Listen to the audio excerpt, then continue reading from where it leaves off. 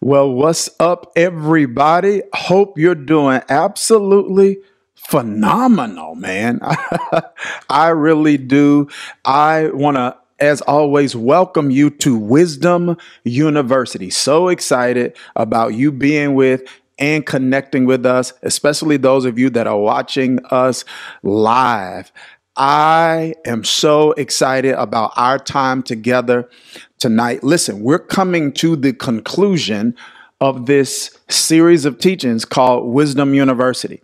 I'm going to finish the, I'm going to finish this series of teachings on next week. So the last Wednesday of the year, I'm going to be finishing this series. Listen, if if if if you believe, if you're claiming by faith that you that you are wiser now than you were when this series began, drop some fire in that chat.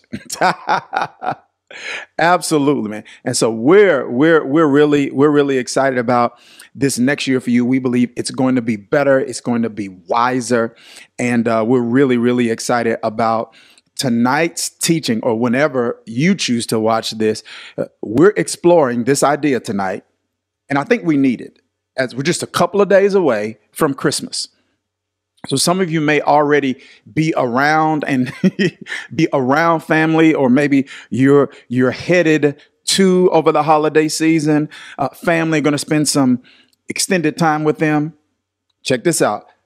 We need to have a conversation about wisdom for family.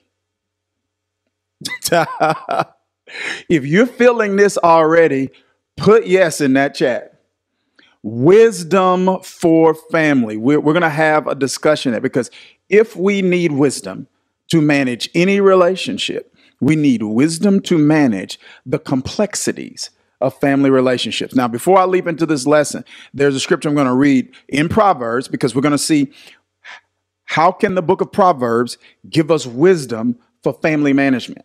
Now, before I do that, couple of things. One, I want you to press that like button please do that. And listen, I need those of you who are part of our tribe, a part of our community. I see you doing it from time to time in the chat to encourage people throughout the live to press the like button. That doesn't mean you like me. Hopefully, you like what we're teaching and it's adding value to you. But what that does is that helps us help other people. It's that simple.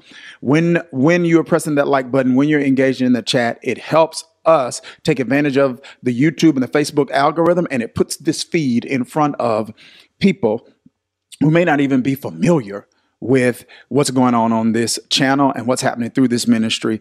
And um, it may add value to them. This is how some people, this is how some of you who are watching may have been helped. So that I'm going to ask you to do that. The next thing I always ask you to do is whenever you're watching this, if it adds value to you, like if you're watching it live when it's over, or if you're watching a pre-record, I mean, um, a, a re-record at a later date, um, if it adds value to you, I just want you to send it to somebody else. That's it. That's it. Because I, I want to add value to as many people as possible. This is why we have so many avenues to do that. One of which being my coaching and mentorship program called Daniel's Den, where I coach and mentor people. I'm not just a pastor.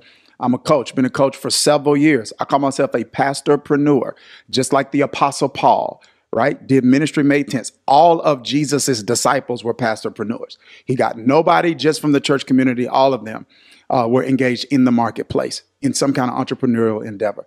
And so ministry and marketplace is my mission field. And so I'm not this or that. I'm this and that. And so are so many of you. And so through that program, man, I help people unlock and unleash their potential. Very simple. I help you discover, develop, and deploy your potential. And I help people do that by helping them get better spiritually, emotionally, relationally, and in their leadership.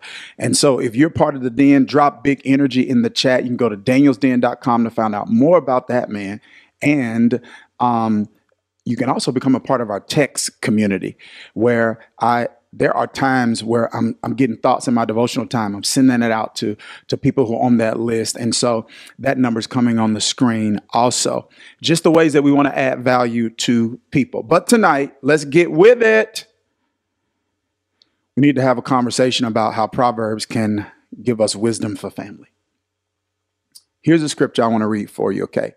Um, I want to read this scripture, then I want, I want to frame it with a little theology.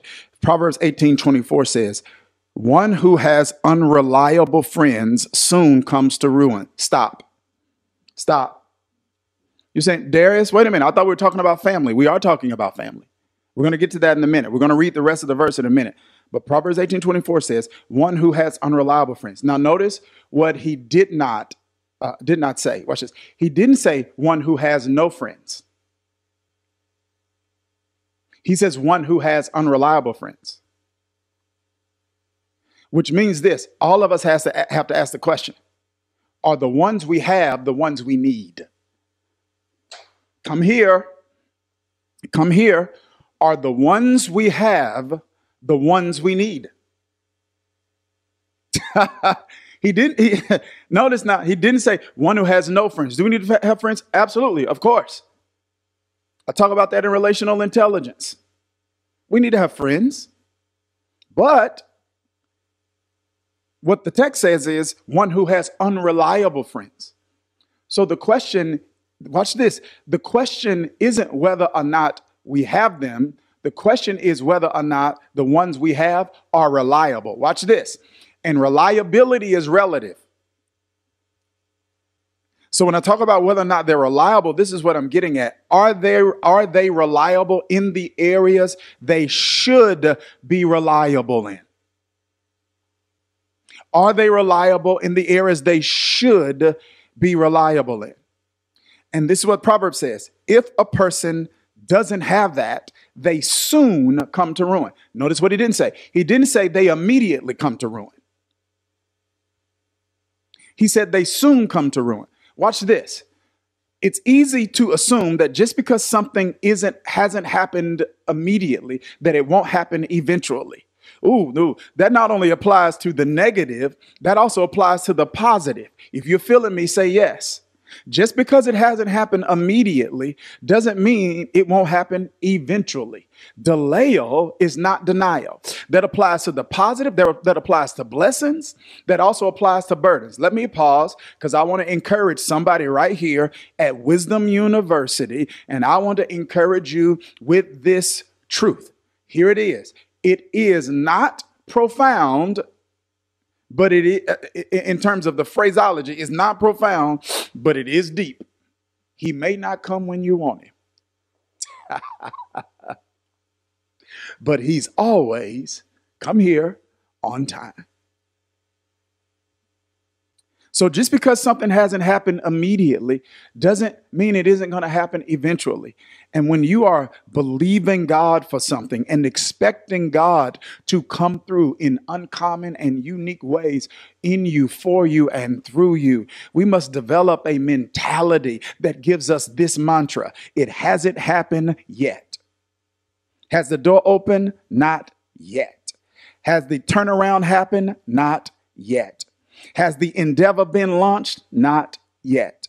Is the marriage improved? Not yet. Has the child come to their senses? Not yet. Because that's the mantra of those of us with a mentality that God will do what He said. So just because it hasn't happened immediately doesn't mean it won't happen eventually. Same thing applies here to this, this principle that uh, the writer's talking about in this passage. He says, one who has unreliable friends soon comes to ruin, not immediately, but at some point, watch this, watch this, inevitably, we will experience the implications of having people around us who are unreliable. Watch this. And reliability is like medicine. You don't need it all the time, but when you need it, you need to be able to reach for it and it's there. Come on now right? Because if you are a if you are pursuing and if you are a person that's obtaining a degree of spiritual and emotional and relational health right? Then you don't then you're not a codependent person. And if a person's struggling with codependency we aren't we aren't judging you. But what i'm saying is if a person's not codependent you don't need everything from your friends all the time. If a person needs everything from their friends all the time there's something deeper going on there. If you're feeling this, say yes. Put yes in that chat. Okay, so check this out then.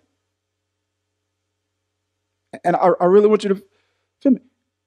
If that's if that's if that's if that is true, then we don't need our friends to be reliable all the time because we don't need them all the time.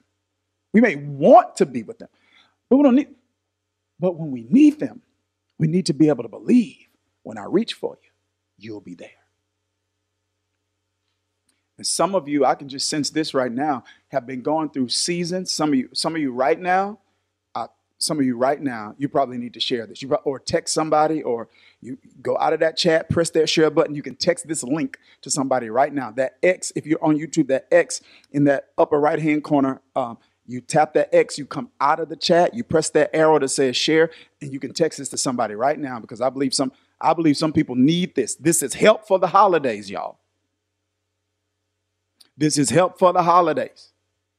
And I believe some of you are in seasons where you, in a season where you finally come to the realization, I'm the one that people always have to reach for.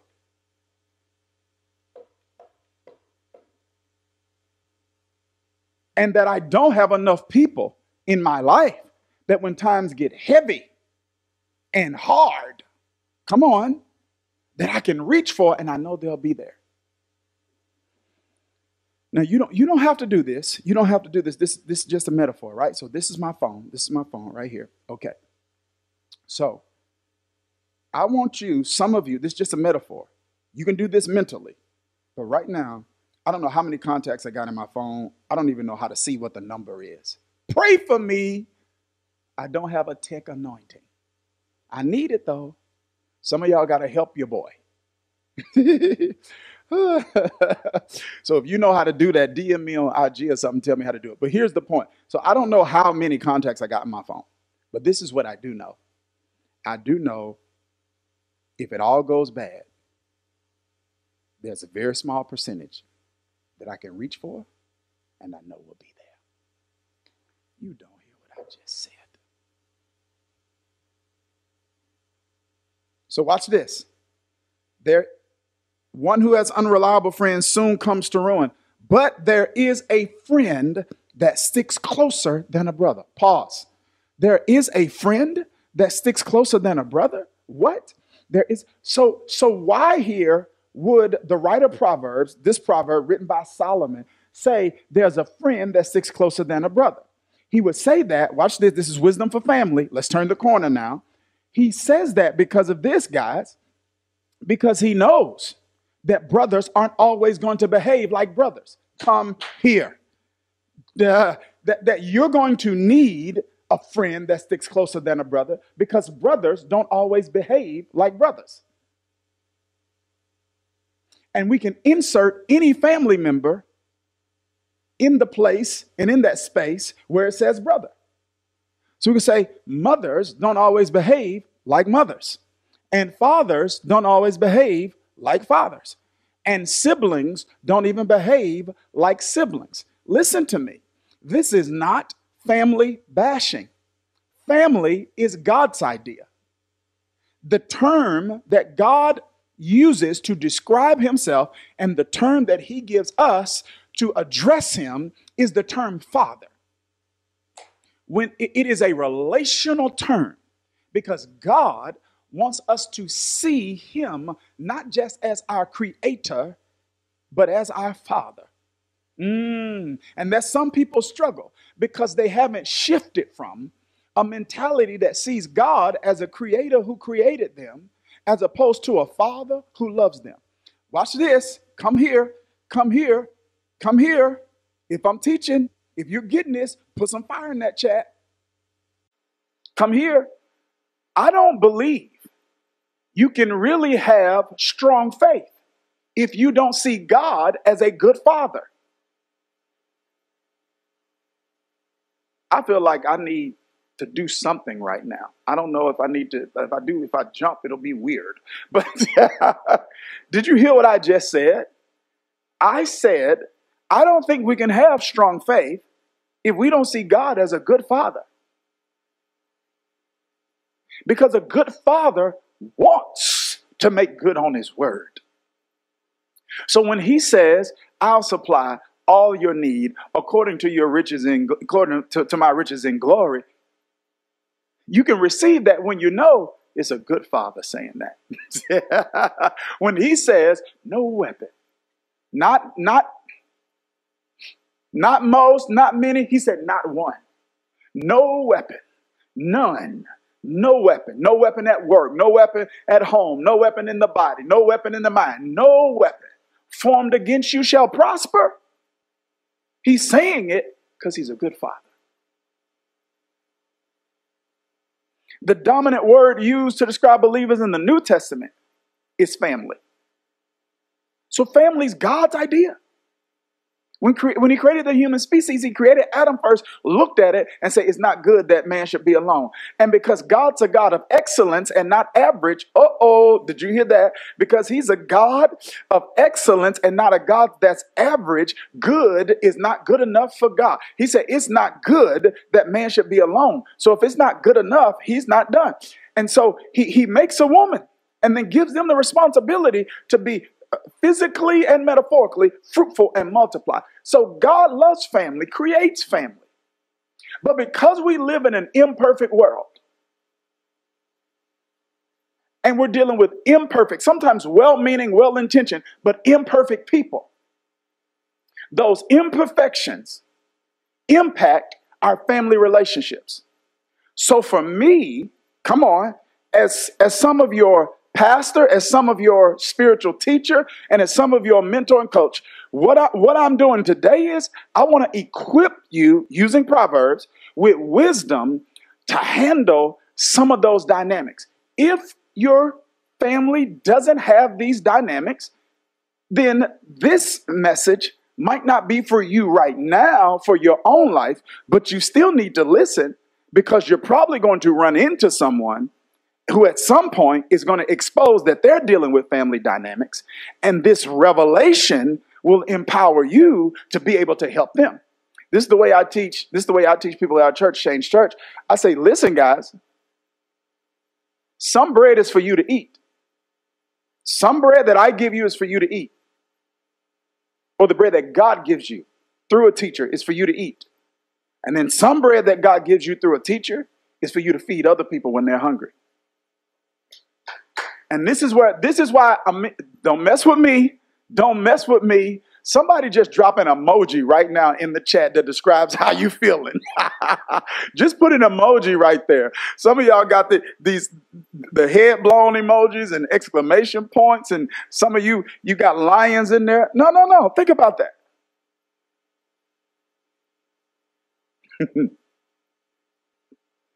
So, guys, guys, listen, listen, li- listen, Linda, listen, Linda, listen, Linda, listen, Linda.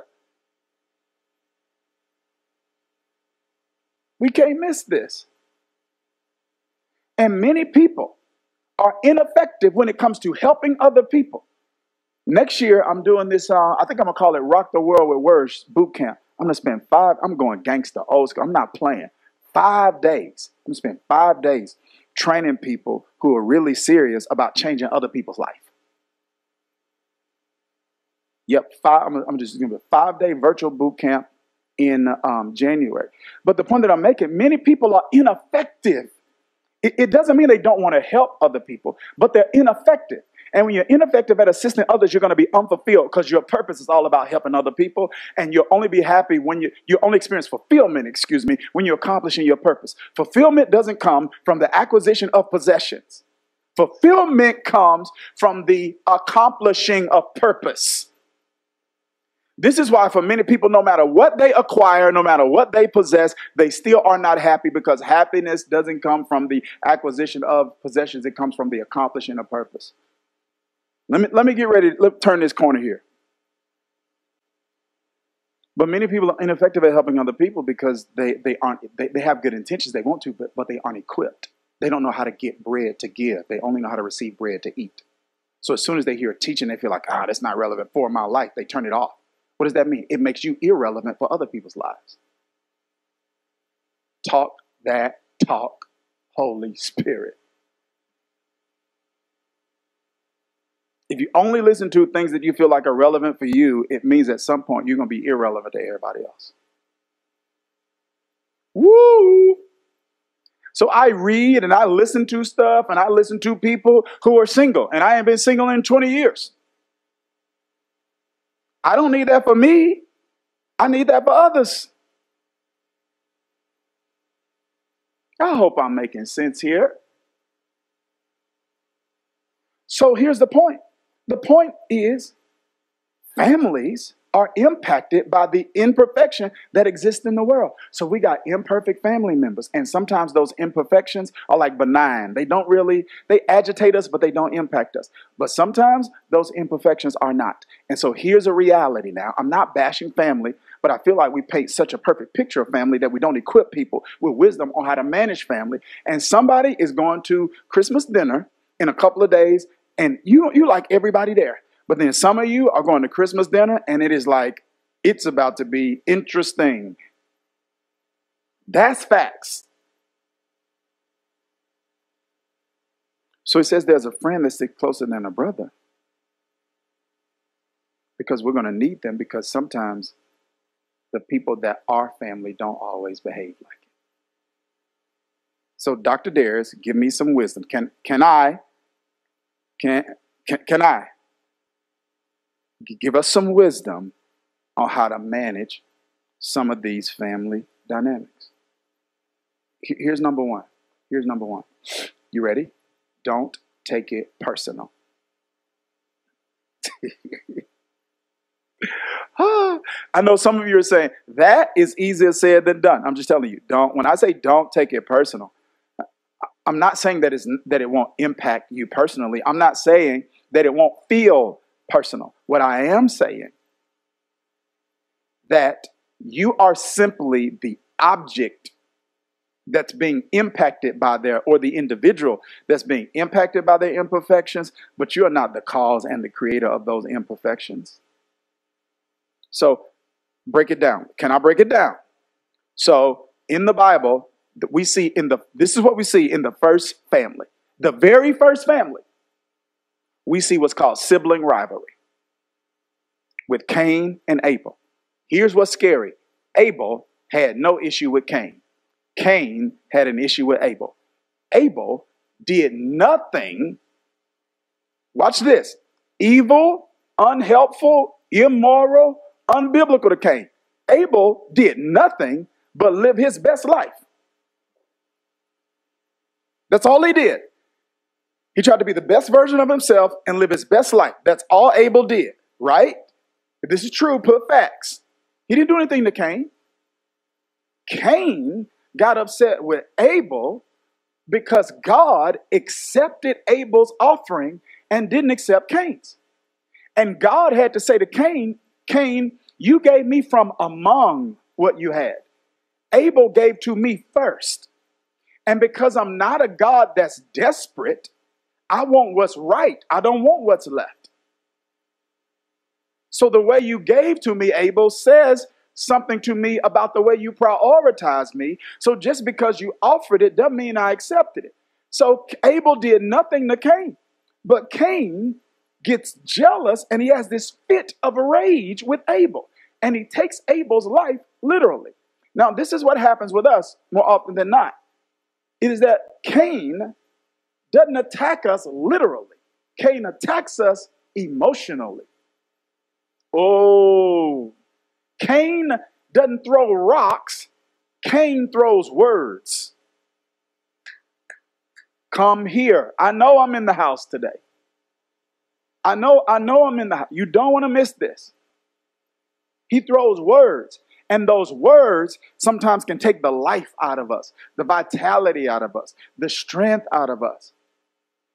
So if Abel did nothing to provoke that with Cain, that's Cain's problem. Abel just happened to be the, watch this, Abel's success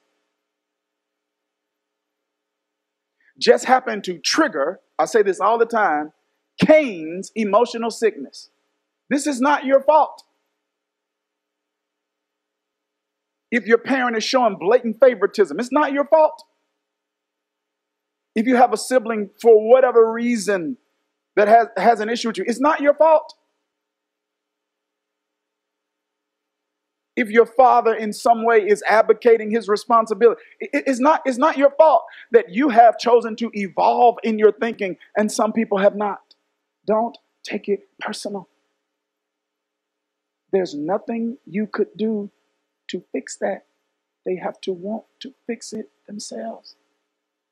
And you're going to be a lot less stressed, a lot less disappointed during this holiday season if you don't take it personally.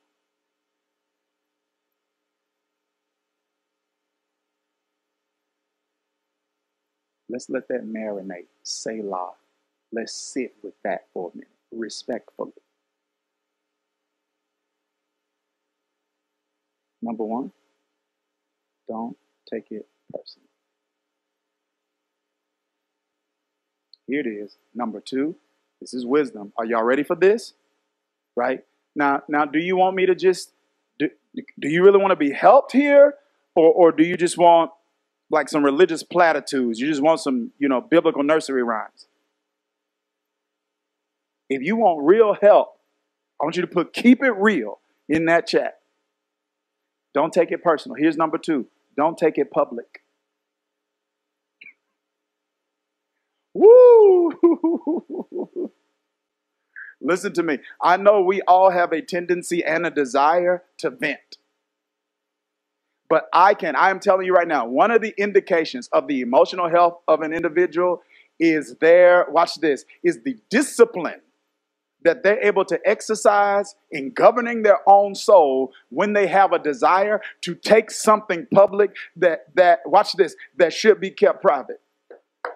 Oh my oh my. Now when i say don't take it public i'm not talking about a refusal to expose something that needs to be exposed uh, so that it can be addressed like if someone's committing a crime or there's some sort of molestation. Uh, uh, you know, I'm, I'm, talking, and then I'm talking about taking it to the people it needs to be taken to so that can be addressed, right?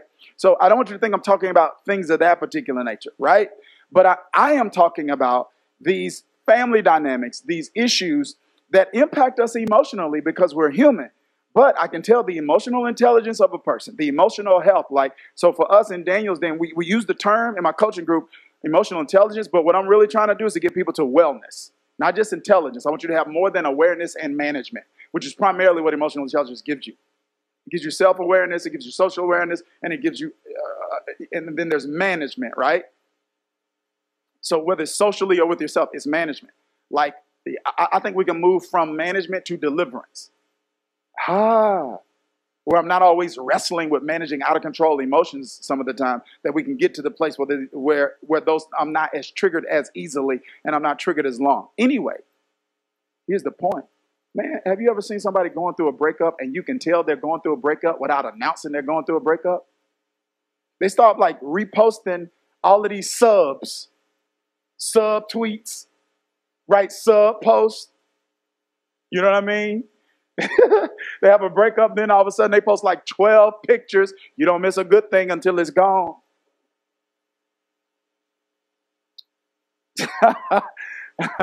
you didn't want to see me now, so you won't see me later. Don't take it public. Why? Because now you invite people into an issue and when you invite people, when you expose an issue to people that's not their concern, they feel the right to speak into and have an opinion about it. And what happens is this. Woo, there are some people who love you and are so loyal to you that even if you fix the thing you posted about, even if you fix it, if you reconcile it, if you all get help,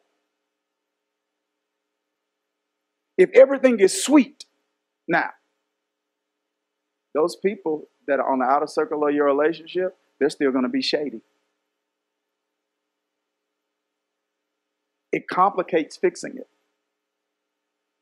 Now let me let me emphasize again because like sometimes um, I know we live in a culture where, and I need to talk about this at some point, a culture where it's like we're conditioned not to not to not to lock in. Um, Dr. Del Toro and I did a, and if you hadn't seen that man, Wisdom with Your Words, Dr. Del Toro and I, we did a tag team uh, session on last week. And uh, as I'm looking at some of the comments that some of the people were making, I was saying to myself, did they did they actually listen to what we just said? Like I think we said something about um, steps you should take before you actually need in-person like coaching, something like that. And then someone was like, "Yeah, that's all good, but you still need somebody." And we were like, "We said you need somebody. We just said that, that you can get their mind first before you get them. Anyway, come back. Somebody say, "Come back, Dharius. Come back. Come back." Okay, Usa. All right. Here's my point. yeah, I'm not. I'm not saying that we should condone unbiblical, unhealthy behavior, not report illegal behavior. That's not what I'm saying. I'm talking about things that don't necessarily fall in that category that people can sometimes go public with, and that makes reconciliation more difficult. Don't take it personal. That's number one.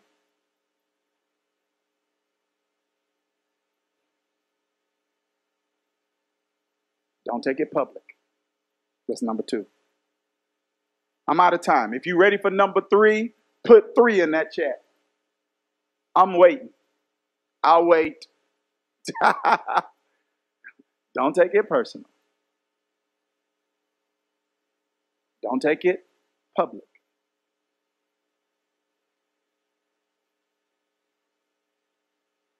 Here's number three. Don't take it past that day. I hope you have absolutely no issues during the holiday season. I hope everything is sweet. I hope you experience shalom, the peace of God. I hope you uh, recognize and express appreciation for the gifts of the great people that God's put in your life.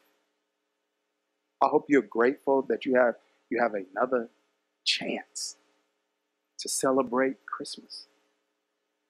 But listen to me. Are y'all listening? If you're listening, say yes. It may not be that way. Someone may say something, someone may do something. And watch this. Sometimes, sometimes it doesn't happen just to you. Some I know, I, you know, I've experienced this. I used to experience this growing up. It wasn't always that something happened to me. It would be sometimes that there, there, there would be other people in my family who would do things that would hurt other people in my family that I love deeply. And sometimes that made me more upset and that caused me more grief than if it would have been me. I'd be like, nah, don't do my grandmama that way now. That right there make me want to lay hands in Jesus. yeah, I remember that growing up. But here's the thing the enemy wants to allow the offense that we experience in our present to inhibit us from going where God wants to take us in our future. He he doesn't want it. He doesn't he doesn't orchestrate it happening to us just so it can happen to us.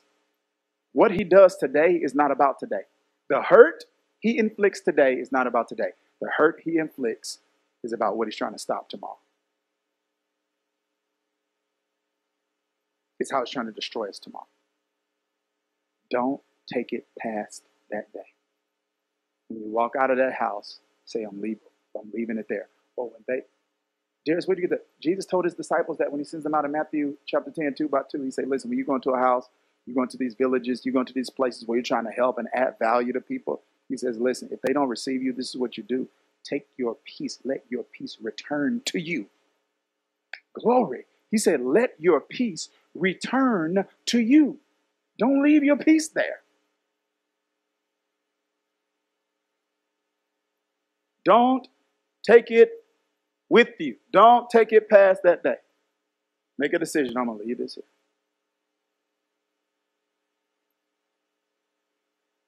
Because I will not let the enemy. And I'm praying that over you. Believing. And hoping that you won't only that we won't only just apply these principles during the holiday season, this this wisdom for family, we can apply these principles all year long and I'm believing God that He's going to give you the wisdom, right?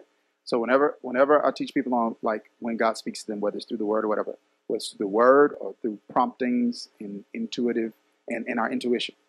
There's revelation, that's what God said. There's interpretation, that's what does it mean. Then there's application. How do I apply this? And that's where you need a personal relationship with God. I can give you the revelation, I can even help you with interpretation. But application is going to be different for everybody based on your context. And that's where you need a relationship with God, the guidance of the Holy Spirit, because, look at me, because if not, we will end up making idols out of the Bible and idols out of Bible teachers. It's some stuff only God helps you with.